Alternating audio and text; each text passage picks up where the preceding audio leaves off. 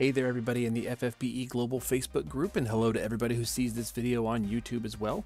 Welcome to this week's episode of Ask an Old Mog, where I try to take questions uh, that pop up in the Facebook group and answer them in a visual format aimed at trying to help newer players get started at learning mechanics about the game um, and trying to learn like tips and tricks and ways to kind of get started playing uh, if they're being maybe a little overwhelmed by all the information and options and things to do in the game.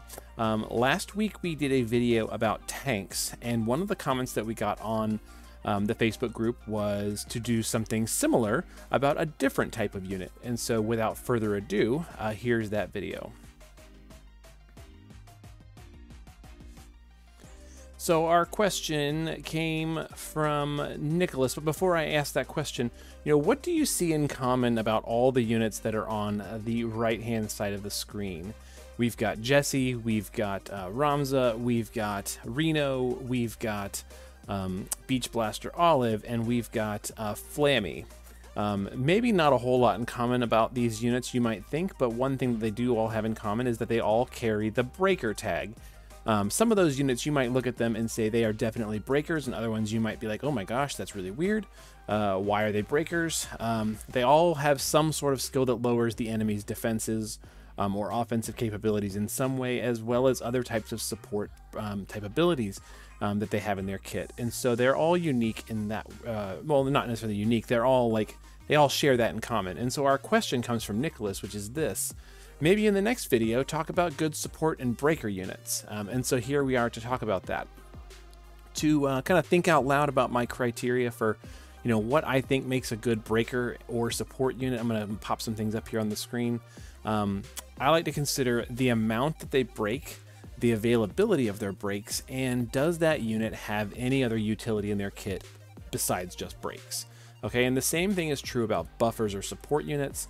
You know, how much do they buff? Uh, how available are those buffs? And do they do anything else besides just provide buffs? Because in the current meta of the game, you know, units um, really want to or need to do more than one thing in order to be viable for multiple types of content. Um, if a unit just does one thing really well, um, they might not be as useful as a unit that does, you know, four or five things just a little bit not as good. Um, but, you know, it depends. It depends on what you're doing and, and what you're working with. So um, there you go. Um, and those are the kind of criteria that I like to think about. Um, so, for example, if a unit can only break 83% to a single stat, or they imperil less than 100%, or their breaks are locked to a single use skill um, they really are not going to stand up to what I would consider, and um, we're going to see some other folks consider really good breakers. Um, the same is true about supports. If they just don't do very good numbers or their buffs are not available on a regular basis, they're just not going to cut it compared to like the really good current options. And so, to answer this question, you know, who are good breakers and supporters, and why are they good breakers and supporters? Um, I actually asked some folks um, in the FFBE Help Discord. Um, and some of the names you might recognize from some other videos that I've done and some guests that I've had on.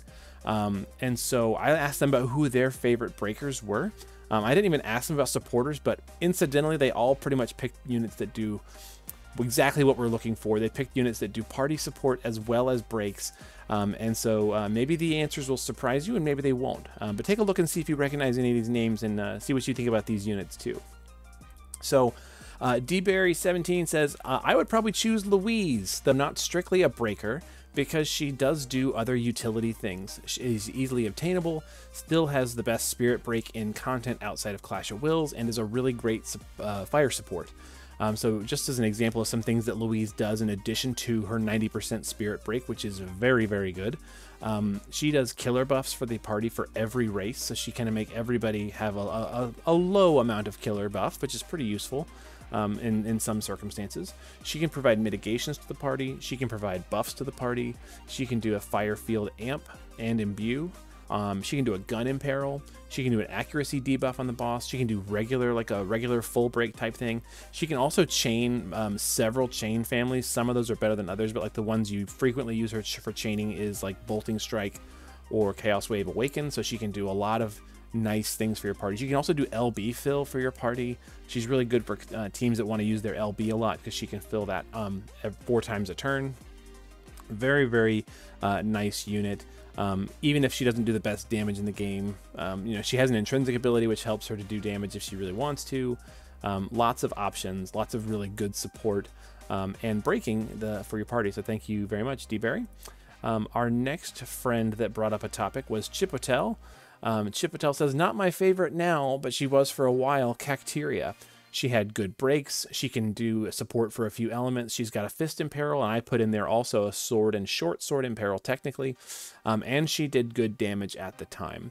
Um, so what's neat about um, Cacteria is that she's got single target and AoE breaks. So for example, like with the most recent Clash of Wills, where you couldn't break the boss's defense, you could just use um, a Spirit break and her attack and magic break, and she's got all three of those on individual casts, which is really nice.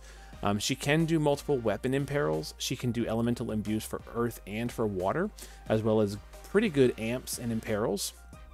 Um, she's got chaining abilities um, for bolting strike, and I believe like avalanche kick or something like that, like really random, but she's got it.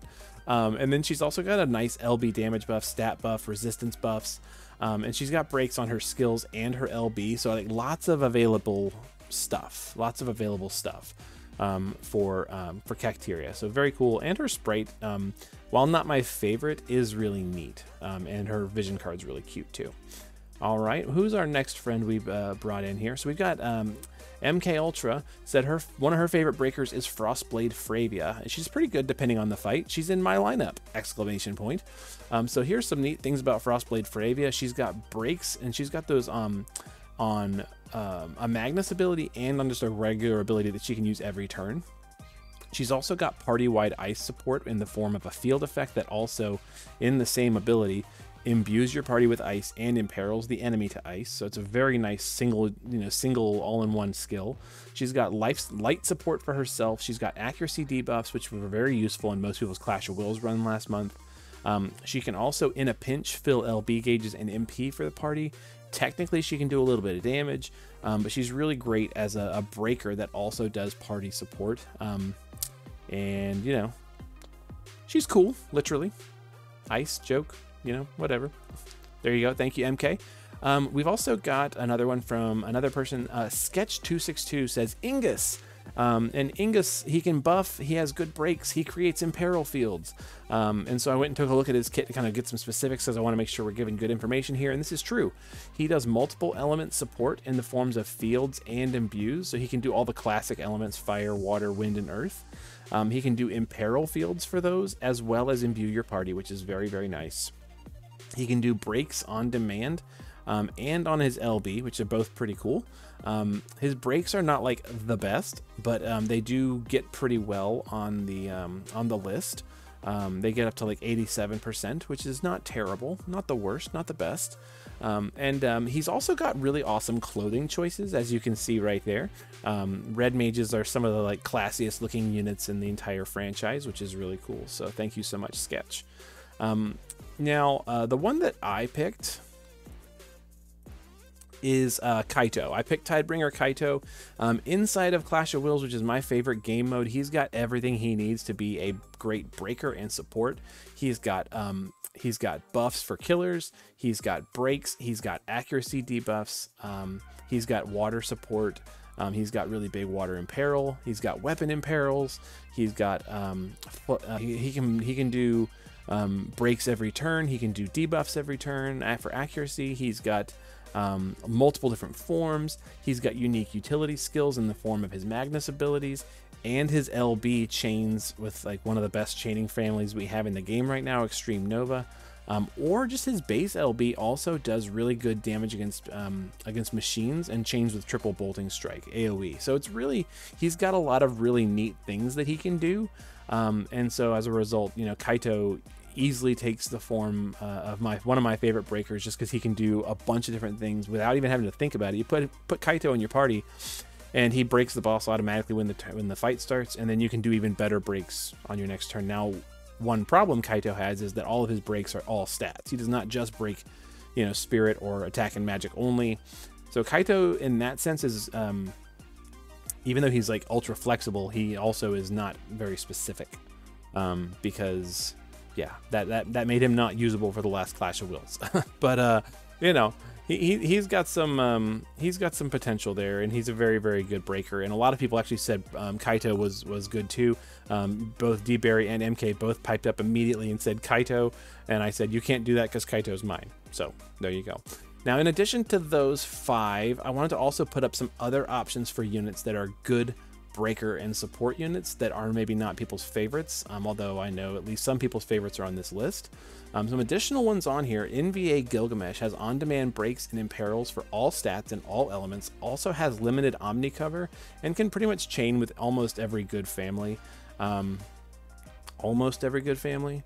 Um, just, you know, he, he's there for a lot of different things. So NVA Gilgamesh is, is fairly good at what he does.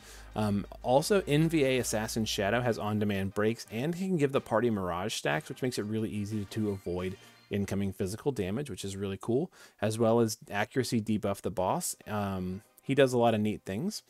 Um, Neovision's Lara Croft, I know she's a limited time unit, um, but she has a 90% defense break, a really big fire imperil, and can do morale damage, um, as well as like self only killer buffs for herself, which is kind of neat. Um, and she does like stacking damage with her with her shift LB. You can like kind of gear her up to be a, a big spiker.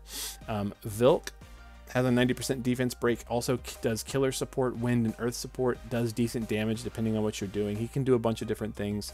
Um, axe imperils, fist imperils, lots of options. Um, Paladin Sylvie, I do not need to explain why she is uh, a really great um, support unit, but she also does have breaks in her kit, so worth noting that. Um, but her big thing is uh, elemental support and um, damage support for your party and um, stuff like that. Um, some other options, um, Samurai Chizuru, while more of a support unit than a breaker, can also do wind imperils, accuracy debuffs, killer buffs, stat buffs, and unique party support skills, as well as being a tag team chainer who does really, really good damage in most content.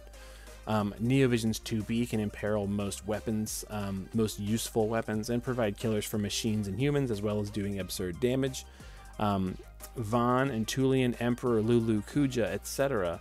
All these units that do like elemental one element single target, whatever, single single theme, you know, whatever. They do really decent breaks and really big elemental imperils. You know, sometimes as high as 160%, which is sometimes very very useful for your team.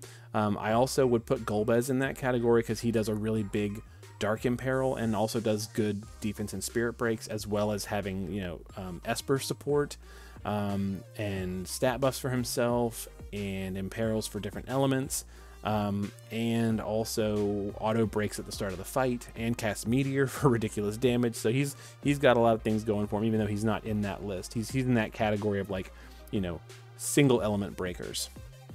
Um, roberta inignitos is very good fire imperil um, as well as um, imbue for the party and can you know tag team chain do damage. She can do spear imperil she can do really big buffs for the party for their stats and mirage um, she can do LB damage buff. She's got a bunch of other support skills in her kit that like can like dispel the enemy or dispel bad things off the party. Um, lots of neat things for Roberta um, and Ignitos. Um, so, and that that is by no means exhaustive. So, like for example, these units that are here um, on the screen, you know, Avalanche Jesse um, as a seven star unit can do really good breaks and is also a really good you know passive provoke evasion tank.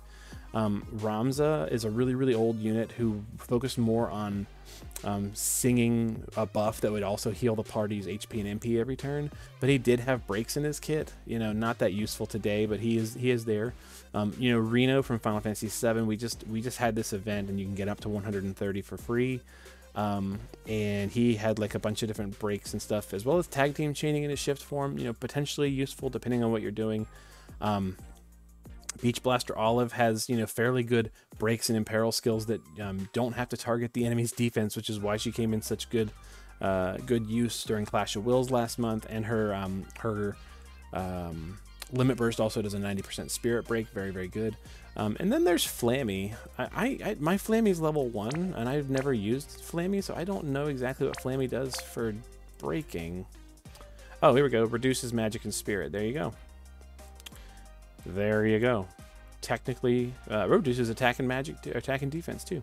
So technically has breaks for all stats. And the breaker tag, you can see that. And the good thing about the breaker tag is any unit with the breaker tag can equip those nice breaker materials like Earth Breaker, Dark Breaker, um, Numbing Thunderbird, uh, Lightbreaker, things like that, um, to, to just give them the utility of an 85% all break, which is sometimes very useful.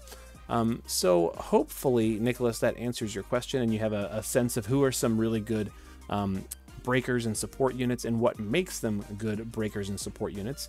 Uh, I'm curious to see in the comments, you know, uh, for those of you who uh, like to comment and things like that, who are some of your favorite um, breakers and support units? You know, drop a comment on Facebook, drop a comment on YouTube, um, and we'll have the discussion. You know, who are some good breakers and why are they your favorite? Um, if you've got a question you want to see in next week's video too, please um, drop that in the comments as well, and we'll see what we can do to try and answer it, just like we did this week. Um, until then, be good to each other, take care, have fun in the game, um, and we'll see you in next week's video. All right, later.